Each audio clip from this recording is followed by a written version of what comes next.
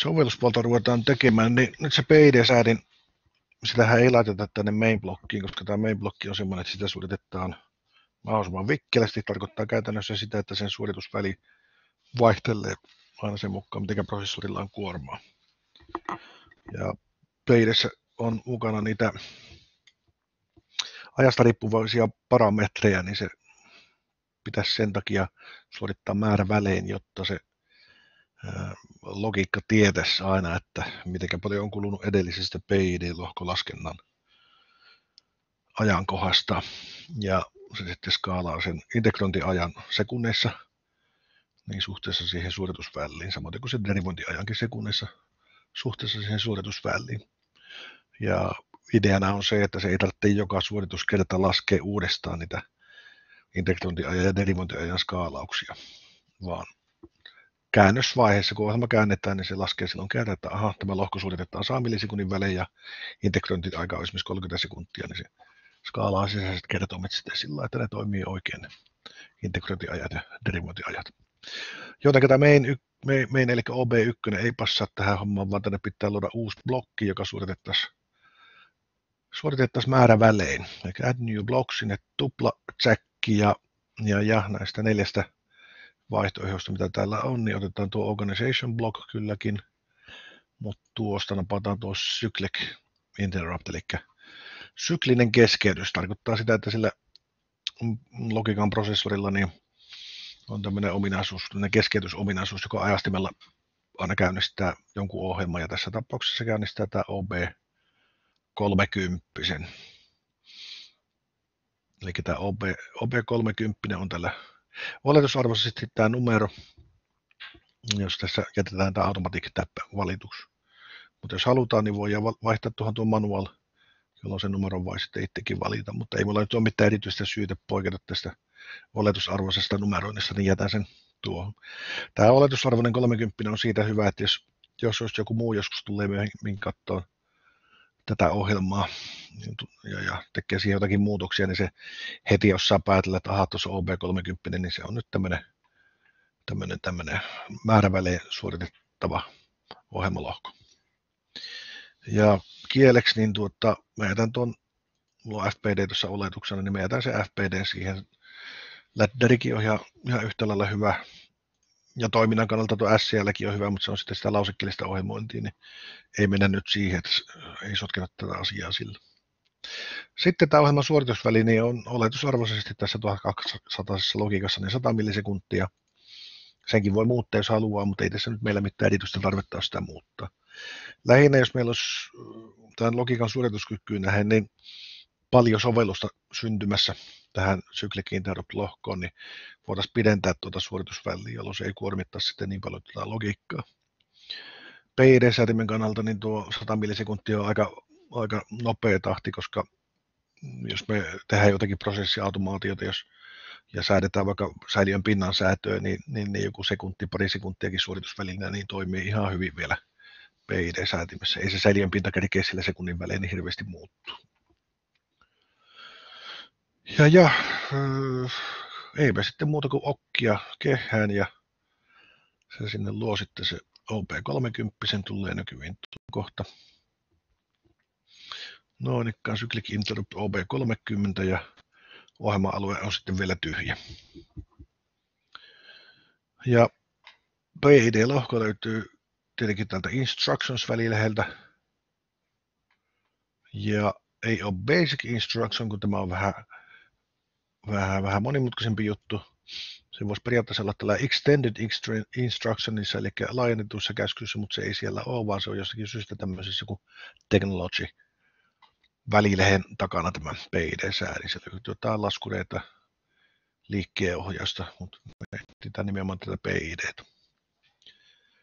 Tässä Basic-versiossa, eli Tiaportalla Basic-versiossa, niin, niin, niin löytyy vain tämä Compact PID, tai hetkinen, tämä saattaa olla kyllä tämän 1200 sen logiikankin ominaisuus, että ei ole sitä, sitä, sitä monimutkaisempaa PID-säädintä, mutta joka tapauksessa tämä se on, mitä me tässä haetaan, PID Compact.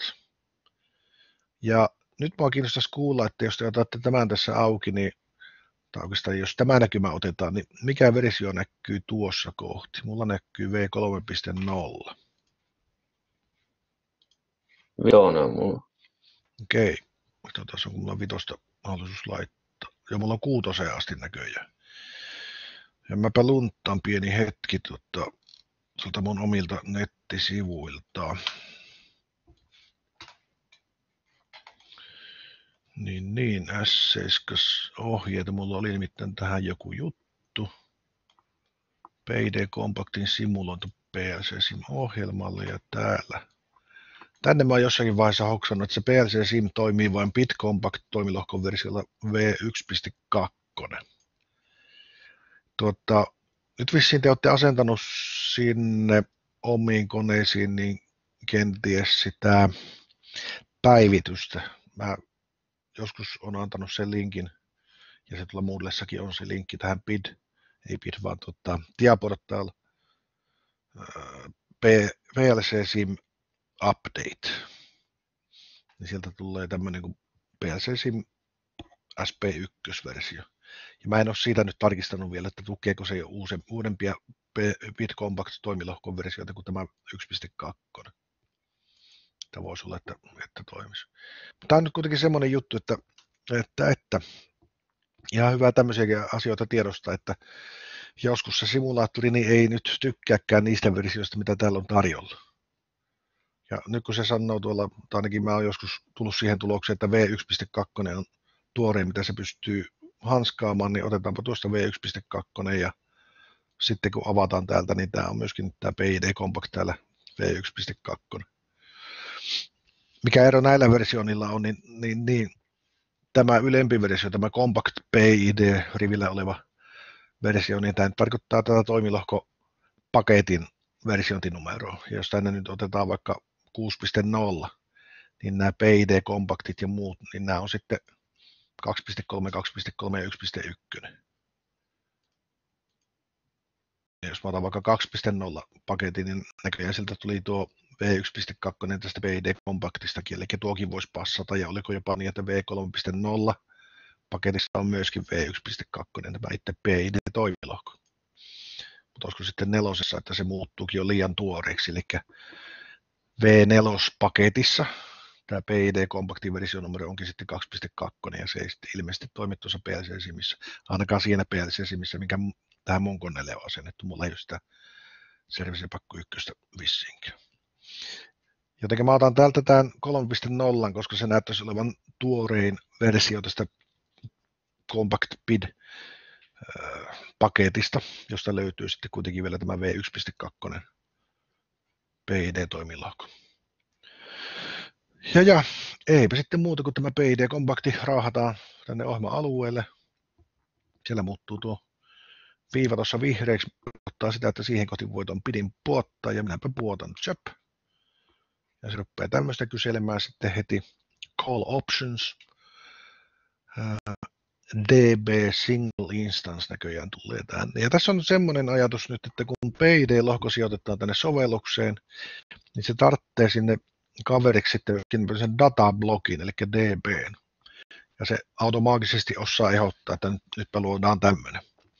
Ja tämä DB, mm, niin, niin, on sitä varten, että kun sitä PID-lohkoa suoritetaan 100 millisekunnin välein, niin aina sen kunkin suorituskerran jälkeen se tallettaa jotakin tietoja tänne db talteen, mitä sitten tarvitaan seuraavallakin suorituskierroksella.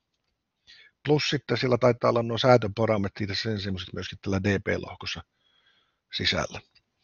Eli nämä on aina tämmöinen pari, pitää olla aina PID-toimilohko ja sitten jokaiselle PID-säätimelle pitää olla oma tämmöinen DP-blokki. Säätökoht, säätöpiirikohtainen tai säätäjäkohtainen tämä, tämä datablokki, jolloin mä mielelläni tuon nimen eri tavalla. Se ehdottaa oletusarvoisesti tuommoista kuin bitcompact alaviiva ykkönen, sitten kun tulee toinen PID, niin se numero muuttuu kakkoseksi, kolmoseksi ja niin edelleen. Mutta tota, tässä ehkä hyvä on käyttää sitä säätimen positiotunnusta, niin mä laitan tänne lik 100, se mulla on lik 100 pintasäädin tulossa. Ja tuota, tuota, tuota. Sitten muuta kuin okkia, niin se luo sinne se automaattisesti, se ei tarvitse sen kummempia tähän määritellä toistaiseksi. Ja sinnehän se tuli tämä säädin toimilohko.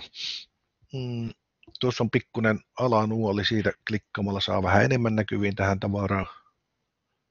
Meille toisessa riittää tämä vähempikin versio. Ja niin kuin näette, niin tänne tuli tämä lik niin sitten nätisti näkyy, eli heti näkyy tästä suoraan, että tässä on lik säätimestä kysymys. Senhän voi tänne laittaa network commentiksi vielä, että lik satanen. Tämä olisi mulla sekoi, sekoitussäiliön pintasäätö. Ja jos haluaa tuohon jotakin sitten vielä, niin niin, niin, siihen voisi kirjoittaa jotakin tarinaa, mutta aika hyvin tuosta yhdestä kommentistakin nyt tietysti käy ilmi, että mikä säädintä on. Jos sulla jotakin erikoista juttua tähän tarpeen laittaa, että tämän peiden parametronissa esimerkiksi on jotakin erikoista, niin tuonne voi kirjoittaa pikkusen selitystä siitä, että mikä siinä on. Siinä on jännää nyt tässä lohkossa, mikä ei heti päälle päin näkyisi. Okei, ja katsotaanpa sitten tuo konfiguraatio. Täällä PD-lohkon tulona, yhtenä ensimmäisenä tulona niin on tämmöinen kuin en, eli enable-bitti. Ja tässä on semmoinen ajatus, että tämä toimilohko voidaan pistää päälle tai pois päälle. Eli täällä en-tulolla määritellään, että suoritetaanko tätä toimilohko laskentaa ollenkaan vai ei. Eli suoritetaan koko toimilohko ohjelmakoodia niin, niin, niin ollenkaan vai ei. No tyypillisesti nyt kun tehdään ihan tavallinen säädin, niin, niin, niin tämä on aina päällä, tämä PID-säädin, että sitä ei oteta pois päältä. Se on aina päällä. Ja nyt kun tämä enin kun jättää kytkemättä, niin se oletusarvo on silloin, että se on koko ajan päällä, että se ei mene pois päältä. Se on eri asia sitten taas se, että jos halutaan, että se PID-säädi on automaatilla tai manuaalilla, niin siihen on taas sitten täällä tämmöinen tulo kuin manual enable, manual enable. Silloin kun tämä on false nollatilassa, eli epätosi, niin silloin tämä säädi ei ole manuaalilla, vaan se on automaatilla. Tarkoittaa sitä, että se muodostaa tuonne lähtöviestiin niin joka suorituskierroksella uuden arvon mittaustulon ja asetusarvon perusteella, plus sitten ne säätöparametrit, mitä siellä on. Eli silloin kun tässä on false, false tässä manual enabled tila, tulossa, niin lähtöviesti tota, muodostetaan sen PID-laskennan perusteella. Sitten joskus voi olla sellainen tilanne, että halutaan jäädyttää tilanne ja ajaa tämä lähtöviesti johonkin ihan tiettyyn arvoon. Esimerkiksi jos vaikka tämä ohjaa venttiiliä, niin halutaan vaikka se venttiili pistää nyt väkisin kiinni. Niin siinä tilanteessa tämä manual enable laitetaan tota, true-tillaan ykköseksi ja manual value signaaliin, niin tänne kytketään sitten semmoinen arvo, joka halutaan tuonne lähtöviestiin menemään. Eli jos halutaan, että se ventteli menee kiinni, niin tuo nolla on ihan hyvä arvo. Jos siinä manuaalitilassa halutaan aina, että se lähtöviesti menee nollaan, niin tähän voi jättää sen nolla, mikä tässä oletuksena on, tai se voi kirjoittaa tuohon itsekin sitten, että 0.0. Noin ikään. Tai sitten jos se halutaan siinä manuaalitilanteessa menevän täysin auki, niin pistetään 100.0, jos tuo lähtöviestiskaala on 0-100 prosenttia. Tuota, sitten taas jos se vaihtelee, että tilanteesta riippuen se halutaan manuaalilla ajaa tuo venttiili tai, tai lähtöviestin eri arvoihin, niin silloinhan kannattaa kytkeä tähän manual value niin joku vapumuistipaikka, joku tämäkin M, M, äh, MD ja jotakin, tämä on reaalityyppinen luku, niin se on silloin MD jotakin. Ja sitten sitä MD jotakin muistipaikkaa, niin ohjataan, mm, ohjataan jollakin move-toimilohkoilla. Sinne kopsataan aina tilanteen mukaan joku arvo tai sitten jonkun laskennan perusteella joku arvo, jolloin sitten kun tämä manual enable tuolla laitetaan trueksi, niin tuo lähtöviesti pätkähtää heti siihen asentoon, jonka tämä manual value tulo osoittaa just, just sillä hetkellä. Ja jos value-arvo muuttuu vaikka laskennan perusteella siinä sillä aikaa, kun tämä manual enable on true, niin tämä lähtöviesti seuraa kiltisti sitä manual value tuloarvoa. Okei, eli säädin voi olla automaatilla tai manuaalilla. Jos tässä on false tässä manual enableissa, niin se on automaatilla ja lähtöviesti muodostuu sen säätölaskennan perusteella. Ja säätölaskentahan toimii, niin kuin tiedätte, niin sillä että otetaan asetusarvo ja mittaussignaali ja lasketaan niiden erotus. Ja sitten tuota, PI ja D-termeillä konfataan se, että tai niiden avulla lasketaan se, että mikä tuo lähtöviesti arvoksi muodostuu.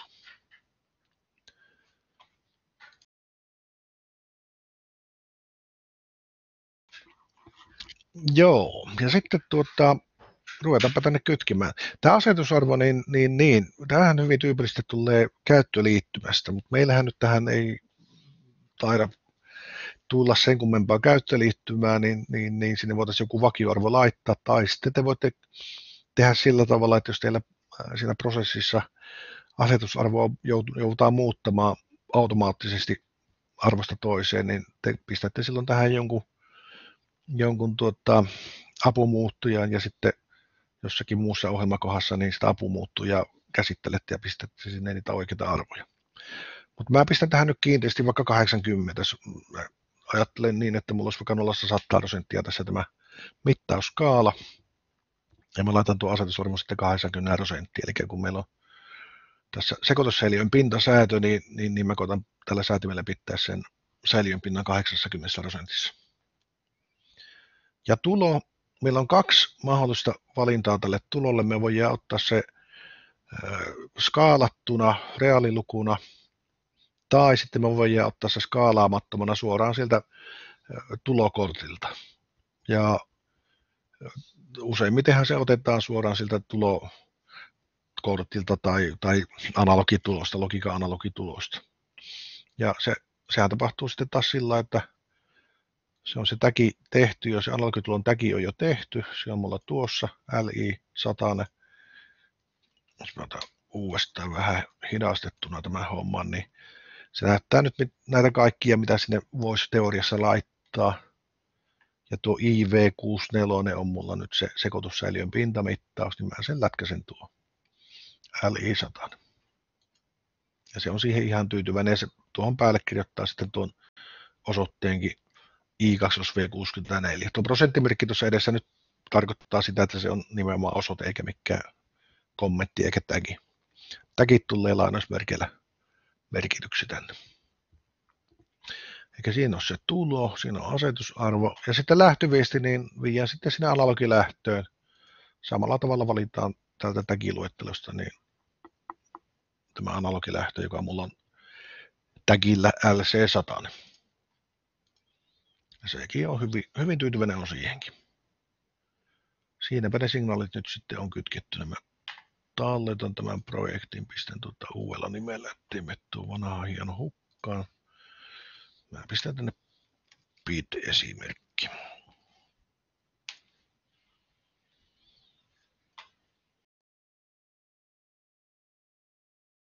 Sinnepä meni.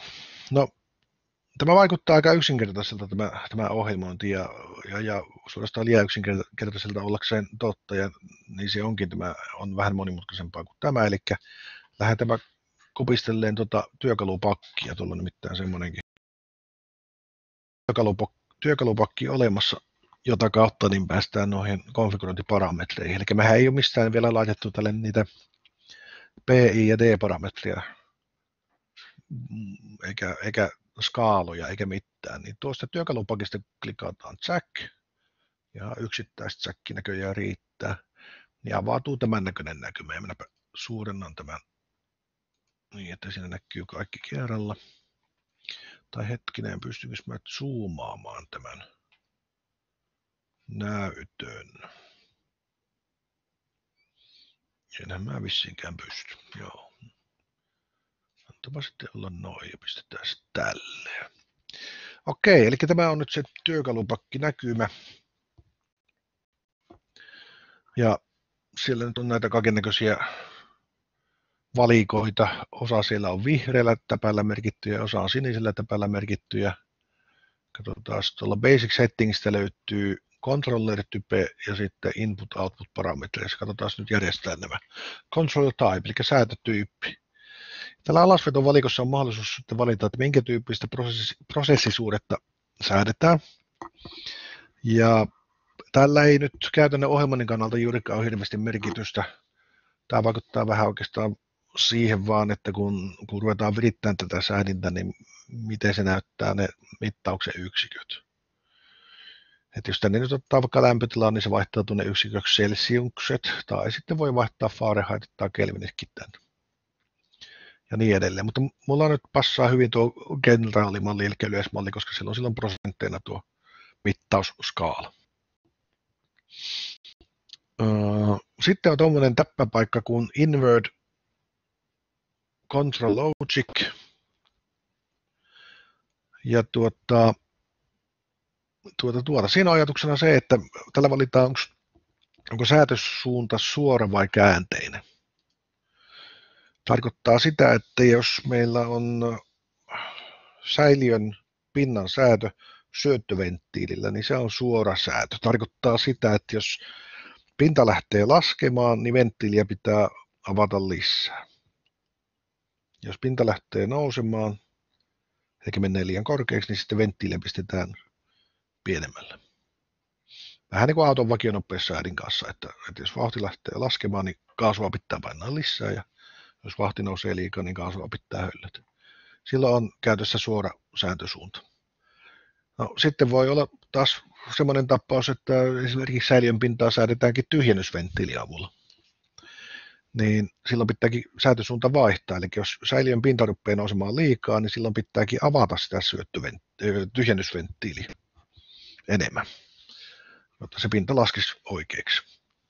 Ja silloin, jotta se toimisi se säädin niin päin, niin tuohon pitäisi laittaa täppä tuohon säätösuunnan invertointiin. Joo, no mulla on tota syöttöventtiili mukamassa siellä, niin mä en tuohon nyt pistä täppää. Eli teidän pitää siellä omissa prosessissa tietenkin aina muut miettiä se itse, että kummin päin se tulee olemaan. Sitten tuo toinen täppä tuossa, niin, niin, niin enable last mode after CPU restart, että jos ladataan ohjelma sinne logiikkaan ja, ja, ja se CPU sitten uudelleen sitten käynnistyy, niin, niin, niin jos tuossa on täppä, niin se jää siihen tilaan, missä se aikaisemmin oli. Siis tämä tarkoittaa sitä käsiautomaattiohjaustilaa. Että jos se oli automaatilla, niin se jää myöskin sitä automaatille. Musta se on ihan kätevä, että se on niin, niin annetaanpa olla se sitten siinä. Eli tähän mä en tehnyt mitään muutoksia nyt. Input-output parameters, niin täällä sitten tuota, mm, mm, mm valitaan setpointissa ei pysty tekemään mitään, se tulee sieltä setpoint tulosta, mutta sitten input ja output on valittavissa, että tuleeko tulo sieltä reaaliarvoisesta tulosta vai sieltä analogikortista sillä int-tyyppisellä signaalilla. Siellähän PD-lohkossa oli, oli, oli, otetaanpas tuosta noin ikkaan. Mennäänpä katsoa sitä PD-lohkoa, niin täällähän on tuota kaksi tulosignaali on tämä input, joka on rea- reaalilukutyyppinen, ja sitten on, on tota input per, joka on sitten taas int-tyyppinen. Tulee suoraan sieltä JO-kortilta. Ja mikä käyttö tällä reaaliarvoisella signaalilla on, niin on semmoinen, että jos te syystä tai toisesta niin haluatte käyttää skaalattua tuloa signaalia jossakin muuallakin, eli te teette sen skaalauksen itse, ja käytätte sitten sitä skaalattua signaalia johonkin muuhunkin tarkoitukseen pelkästään tämän pidin mittauksena, niin silloinhan te voitte ottaa tämän, tämän, tämän tulosignaalin tuosta, tästä sisään suoraan reaalilukun. Mutta jos teillä ei sellaista erityistä tarvetta on, niin sitten ilman muuta kannattaa ottaa se tuolta suoraan sieltä IO-kortilta se mittaus int-lukuna, se 0-27 000 johonkin olevana lukuna niin kuin mä tässä nyt olen tehnyt. Ja tässä tehdään se valinta sitten, että kummasta se PID-signaali ottaa. Mä otan sen nyt tuota IO-kortilta. Ja sitten sama Svenska, niin lähtöpuolella on myös samat valinnat, vielä yksi valinta enemmän. Joko reaaliarvoinen analogisignaali, joka mun tapauksena on 0-100 prosenttia oleva reaaliluku, tai sitten vien suoraan sille analogilähtömoduulille int-tyyppisenä se lähtö, se on se 0-27 000 ja johonkin se skaala silloin, niin sehän mulla tässä nyt on. Sen lisäksi tässä on vielä tämmöinen PWM, eli Pulse Width Modulation lähtö. Tarkoittaa sitä, että jos, jos vaikka olisi joku lämmitysprosessi ja sitten käytettäisiin lämmitysvastusta päälle ja pois, niin tuota, tämän säätimen päässä, niin silloin valittaisiin lähtö, siinä olisi tämmöinen, eli binäärityyppinen ohjaus, päälle pois ohjaus ja pulssi leveysmodulaatiolla sitten määriteltäisiin se teho, joka, jonka se lämmitys sitten saa. Tässä tapauksessa pistetään tuohon tuo output per analog. Eli suoraan lähtökortille. Okei, talletan tässä välissä, ettei me hukkaan. Sitten tulee tämmöinen process value settings ja, ja, ja Siellä on tämmöinen process value limits, 100 prosenttia mulla tämä, tämä, tämä signaali tällä, tällä oletusarvoisesti nyt on, on 0-120 prosenttiin tämä skaala. Tämä nyt tarkoittaa käytännössä sitä, että miten laajalla alueella se tulovirta tai jännitesignaali voi vaihdella ilman, että se aiheuttaa laitteesta hälytystä. Ja tähän nyt ei välttämättä kyllä kannata koskea, mutta sitten taas tämä, tämä tarkoittaa nyt sitten taas sitä oikeaa mittauksen skaalausta. Eli on käytössä tämä input per, eli sieltä analogituloskortilta tuleva signaali, niin se on arvoltaan 0 27 648, siis se on intti kokonaisluku, niin minkälaiseksi se sitten skaalataan. Ja mulla oli se general-valinta siellä, niin sen takia tuossa näkyy prosentit, ja skaala on oletuksena sitten 0 100 prosenttia. Mutta jos mä nyt halusin jostakin syystä tämän skaalauksen tehdä niin, että se olisi vaikka 0 100 tai vaikka 0 200 prosenttia, niin voisin sen tehdä sitten tässä. Että ihan olisi mahdollista. Tai sitten jos teillä on joku muu yksikkö täällä, niin pistätte tänne sen minimiskaalan, mihin se läheti on, anturi ja läheti on viritetty. Ja tuonne se maksimiskaala, mihin se anturi ja läheti on viritetty. Sehän pitää taas sieltä IO-luettelosta katsoa, paljonko se mittauksen skaala on. Että 4, 4 milliamperia, minkälaista prosessisuudetta se 4 milliamperi vastaa ja sitten minkälaista prosessisuudetta se 20 milliamperia vastaan. Tai sitten jos on jännite signaali, niin kuin tässä nyt meillä näytti väkisi olevan 0-10 volttia, kun äsken katsottiin, niin tai aikaisemmin ennen kuin tämän nauhoituksen aloitin, niin, niin silloin oli 0-10 volttia se skaalin tuossa 0 volttia vastaava arvo ja tuossa sitten 10 volttia vastaava arvo. Okei, no mä en nyt tuohon tee mitään muutoksia. Tätä ei pääse täällä muuttaa tätä tulovalintaa. Se on, on nyt käytössä sen takia, kun se täällä tuli valittu. Jos mä vaihdan tämän tänne reaalilukuiseksi tuloksi, niin se sitten on disabled ja nyt mä en pääse sitten näitä muuttaa koska sitä skaalausta ei tehdä tässä peitellä siinä tapauksessa. Vain jos tänne tuloksi on valittu tämä analogitulo, niin me tehdään silloin tämä skaalaus täällä ja voidaan läpi edessä ja voidaan ne arvot täältä sitten määritellä. Okei, eli mä en tuohonkaan nyt sitten tehnyt mitään muutoksia. Mennäänpä eteenpäin. Advanced Settings, Process Value Monitoring. Tässä on jotakin warning high limit, warning low limit. Annetaanpa olla semmoiset, kun ne siellä on liittyy myös niitä, se analogitulo, tai alan analogitulojen toimivuusmittaukseen. Annetaan olla se sillä niin kuin siinä on. PVM Limits. Jos olisi valittu PID-säätimen lähdöksi, niin tuo pulssi tai jos moduloitu lähtö, niin tässä mä voitaisiin määritellä, että miten pitkä se aina vähintään on nyt päällä ja pois päältä sen signaali. Eli jos vaikka jotakin isotehosta lämpövastusta ohjata jollakin kontaktorilla, niin ei sitä haluta, että se koko ajan räpsii päälle ja pois, vaan voidaan valita, että se on aina esimerkiksi päällä niin vähintäänkin, vähintäänkin puoli minuuttia ja pois päältä niin vähintään kanssa sen, vaikka sen puoli minuuttia. Niin, niin ei räpsähtele niin paljon. Ja se PID-säädin sitten omien kykyisen mukaan, niin säätelee sitten ison, pitempiä aikoja sinne kuin sen puoli minuuttia ja puoli minuuttia kumpaankin suuntaan. Okei, mutta tuo meillä ei ole käytössä, niin ei tarvitse kiinnittää siihen sen enempää huomiota. Lähtövistirajat, mulla on lähtövisti 0-100 prosenttia, niin ne saa olla täällä näin. Ja PID-parametrit, niin täällä nyt sitten määritellään vahvistus, integrointiaika, derivointiaika ja niin edelleen. Ja hassusti vähän tällä alimmaisena niin on tämä valinta, että käytetäänkö PI vai PID-säädintä. No PI-säädin on varmaan kaikilla niissä teidän projekteissa valittuna, niin, niin antakaapa se olla sitten siellä. Eli derivointi ei nyt sitten ole käytössä. Enable manual entry tarkoittaa nyt sitten sitä, että ne voi ne parametriarvot syöttää tänne käsin. Tuon voi ottaa pois päältä, jolloin noita ei päästä tästä muuttaa.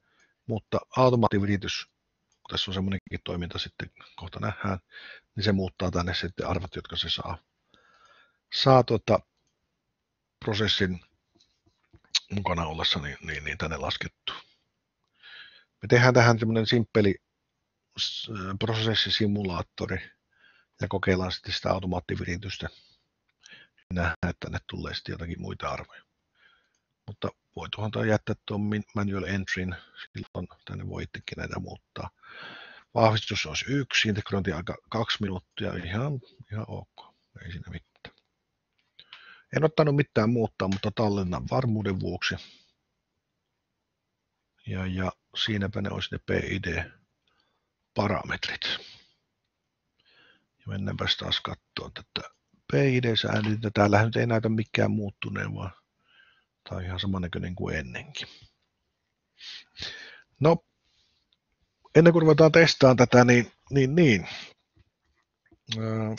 tehdään tähän tämmöinen pikkuinen simulaattori, kun se PLC-simmi, se logiikkasimulaattori, niin sehän ei ole prosessisimulaattori, eli se ei osaa prosessia sinällään, sinällään simuloida, vaan jos me halutaan nähdä tämän PID-säätimen tai PI-säätimen elävän ihan oikeasti, niin meidän pitäisi saada tänne mittaukseen jotakin signaalia kytkettyä, joka riippuisi jollakin tavalla nyt tästä lähtöviestiarvosta. Niin tehdään tähän perään heti semmoinen simulaatio, simppeli simulaatio.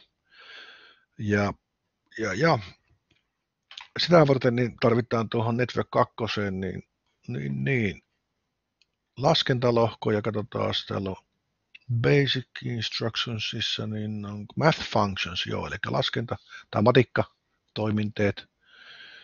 Ja, ja siellä on joku calculate, sitten on add, yhteenlasku, vähennystä ja niin edelleen. Tämä calculate-lohko on siitä, siitä kiva, että sinne saa syötettyä suoraan monimutkaisemmankin kaavan, ettei tarvitse erikseen näillä yhteenlasku, vähennyslasku ja niin edelleen toimilohkolla tehdä monimutkaisempaa laskentaa, niin otetaan tämä calculate laskentatoimilohko, niin tulee teille samalla. Tämäkin sitten näkyy, minkälainen tämä on. Ja täältä otetaan tukasta kiinni niin kuin luolla, missä rauhataan sitten tänne Network 2. Ja pistetään tuo välilehti kiinni, niin näkyy vähän paremmin. Pitäisikö mun koittaa zoomata tuota näyttöä vähän, saakohan sen sieltä näkyviin, jos mä sen zoomaan. Mennäpä hetkeksi tuota, pysäytän tämän talletuksen ja jatkuu sitten toisesta talletuksesta.